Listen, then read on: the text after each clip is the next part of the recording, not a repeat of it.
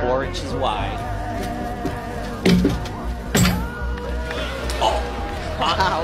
Wow. What a save.